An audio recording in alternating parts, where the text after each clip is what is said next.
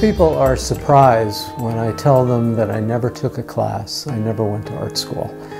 I think of this as a gift, something that's not really teachable, something I didn't learn, something I was given as a gift.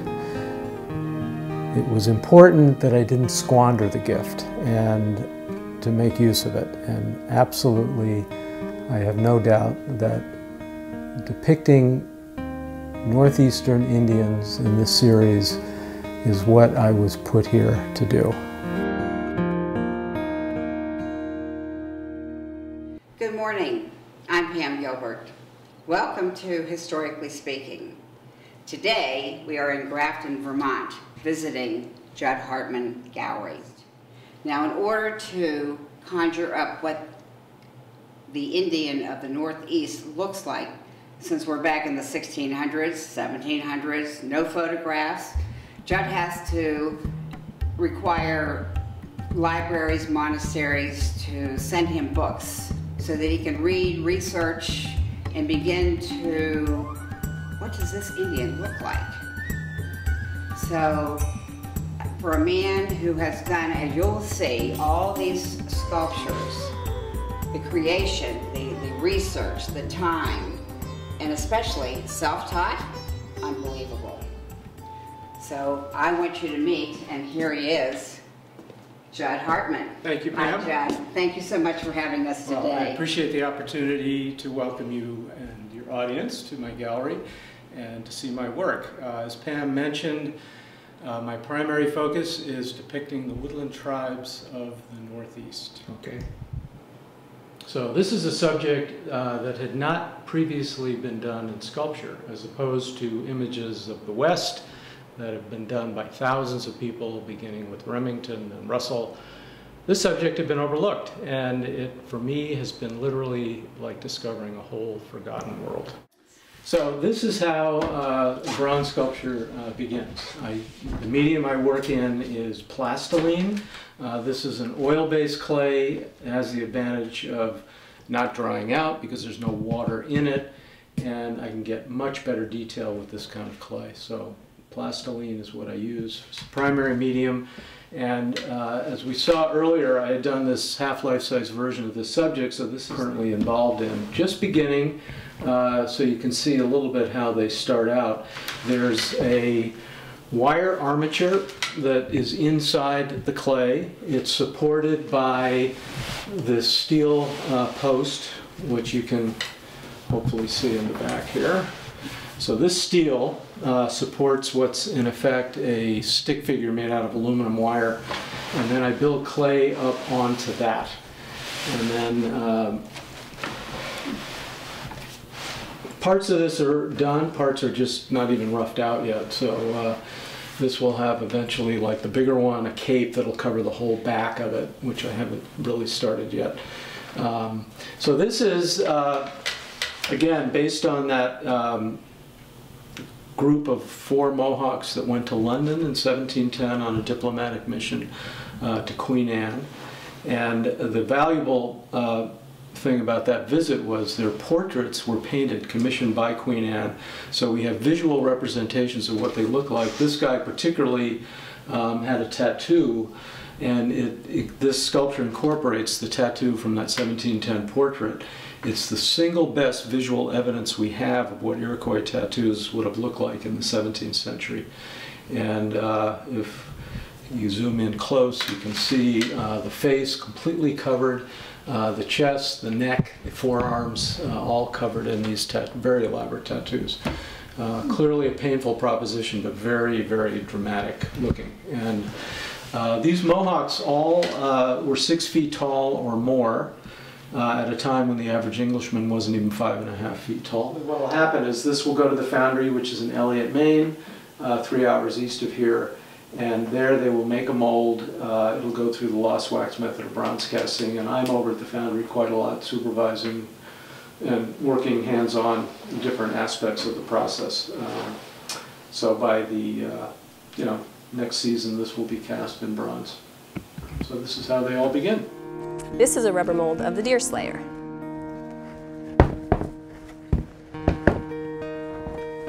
The rubber is flexible And in order to keep it rigid, we make this plastic exterior shell to make sure that the shape holds its correct original shape. Sometimes in order to make a proper mold, we need to cut parts of the original clay off and make separate pieces. You can see here that this is the deer head from the Deerslayer. Into these rubber molds, we can cast, we will cast the waxes. You can see the red um, on the exterior of the, of the um, mold. And this is how we'll do the next process for wax casting. The rubber mold is the one part that's reusable, so that allows me to make the addition, a certain number of castings I decide to make of each sculpture. From the rubber mold, that first negative is created intermediate positive, which is in wax. At that point, I work on the wax, make sure it's just the way I want it. Once I approve it, we take the waxes, uh, dip them in two different ingredients. The principle is a little like making fried chicken, but instead of batter and breadcrumbs, it goes into slurry and silica, eight times in each. That is then fired to 1800 degrees. At that point, two things happen. The coating turns into the second negative, which is unrefined china or ceramic shell.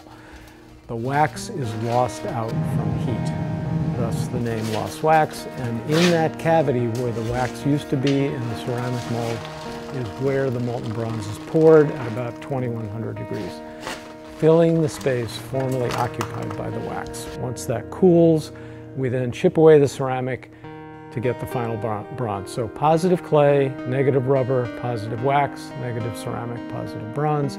For each one in the addition, we go back to the rubber mold, the one part that's reusable, make a new wax, make a new ceramic to get the next bronze.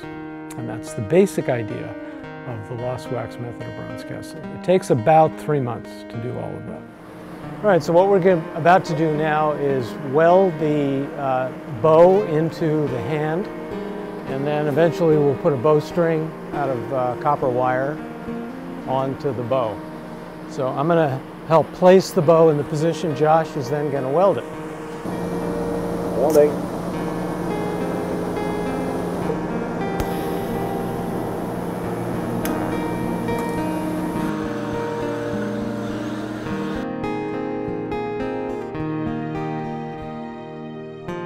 What Josh is doing now is uh, the beginning of the process of creating the patina of the bronze. So it's about a, you know, a couple steps. It's using chemicals and heat from propane torches. So this is, uh, first coat is a light uh, liver, which basically is a chemical that seeps into the cracks and crevices and, and stays, keeps them kind of dark. In the cracks and crevices. So the ultimate patina ends up with a nice contrast between the smoother areas and the places where there's more detail. And then eventually, uh, you know, he'll use a torch on this and then eventually we'll use ferric iron compounds uh, to give it uh, the effect I want is kind of an old leather, kind of an uneven reddish brown uh, patina. And the final thing we do is we wax it to protect the patina. This is one of the last steps in the whole process. And then once the patina is completed and we wax, then we mount it on a wooden base, uh, which has already been drilled out to hold the piece. Felt the bottom and that's all done. It really starts to come to life for me. Uh, when it's that shiny brass effect of the uh, bronze initially, it, it, doesn't appeal to me. Once the color starts coming on, then I really, really starts to look how I envisioned it from the beginning.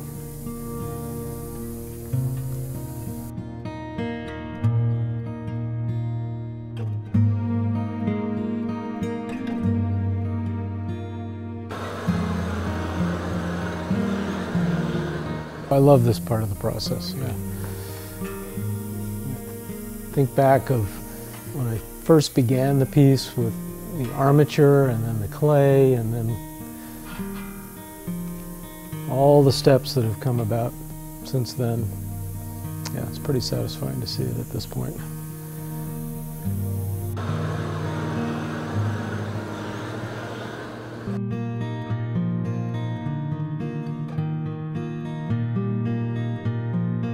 We've finished the patina. Uh, we've got uh, two different kinds of wax on it, which is beeswax, the first coat, and then a paste wax after that. It still has to be buffed out, and before I do that, I'm going to use some white wax, uh, wax to which probably titanium oxide has been impregnated to create a an effect of snow down at the base, because this is a winter scene. So we're going to dab this on.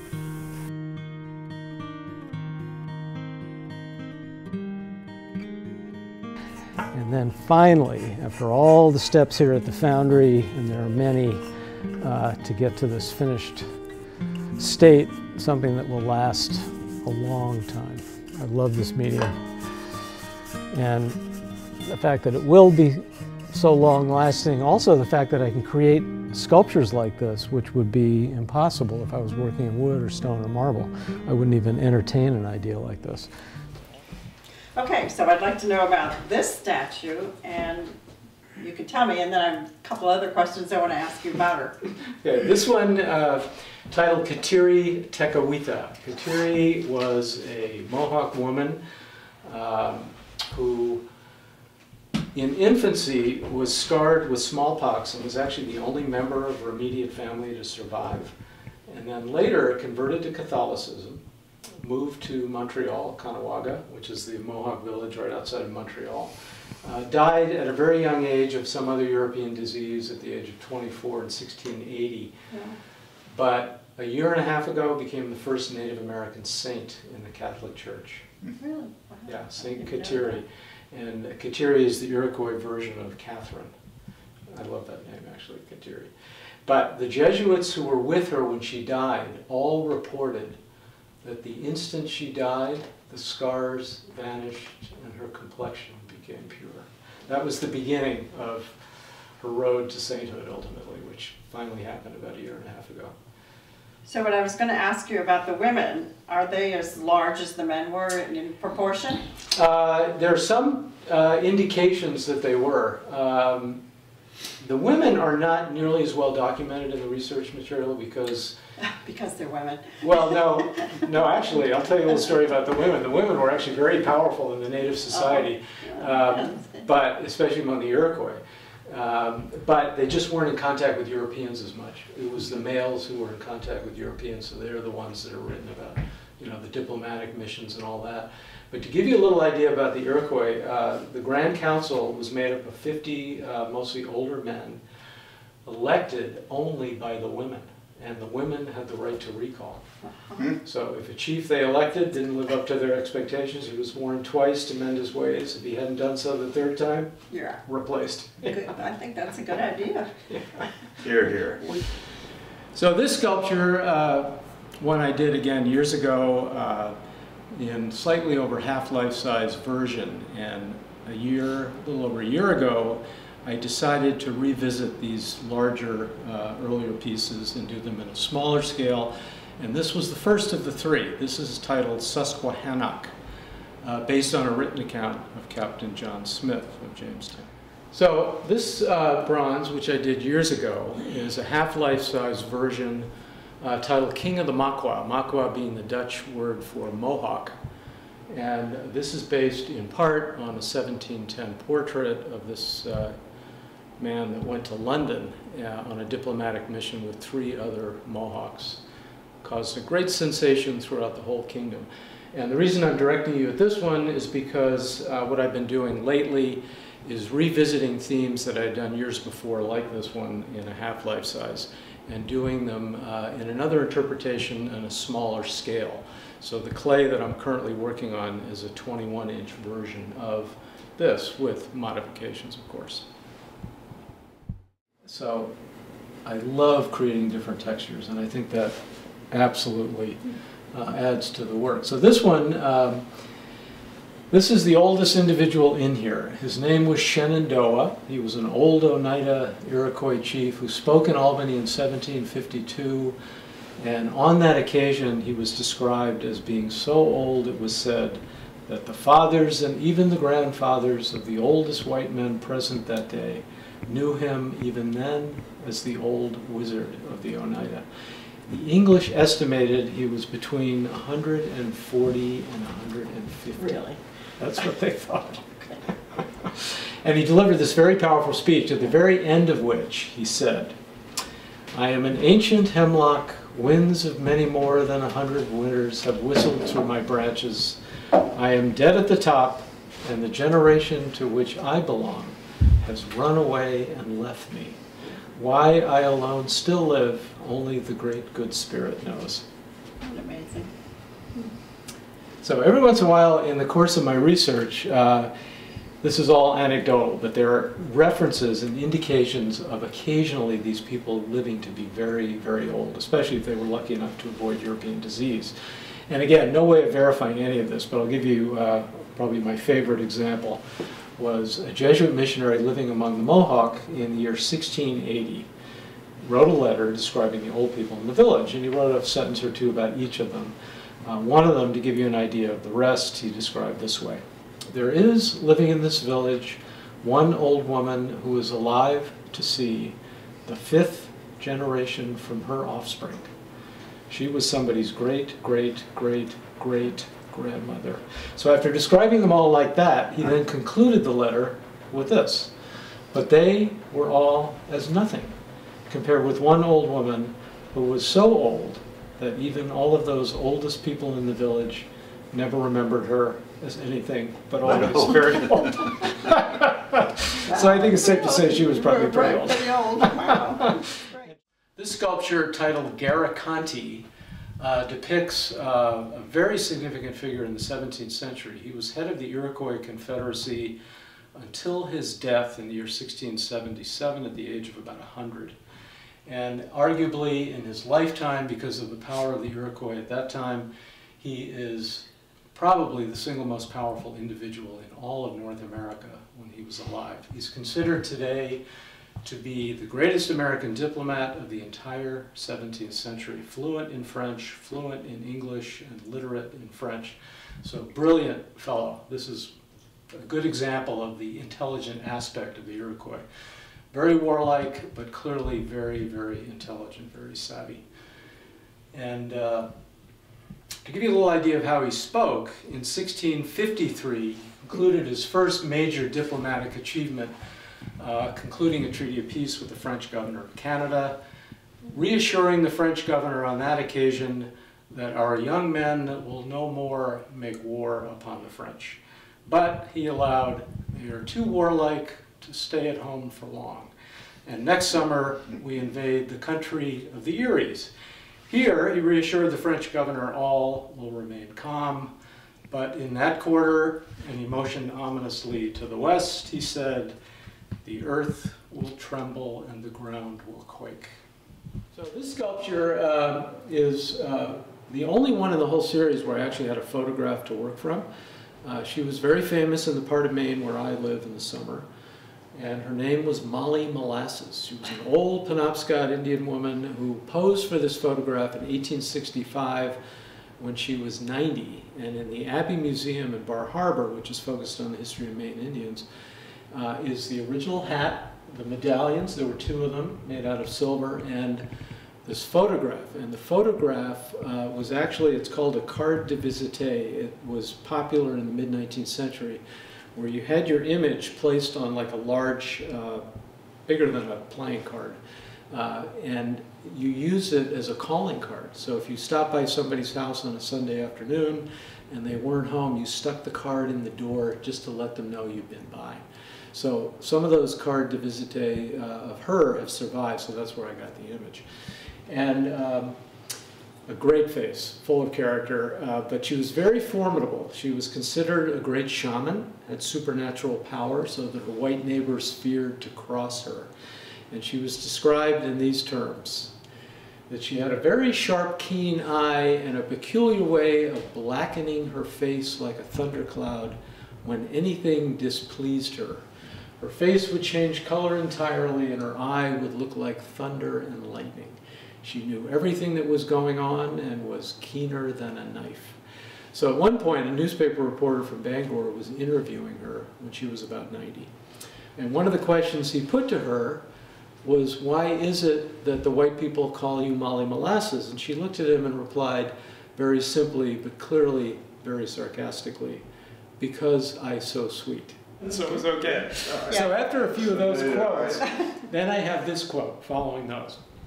This was a guy named Edward Abbey, who I think was from California. He said, The missionaries go forth to Christianize the savages, as if they weren't dangerous enough already.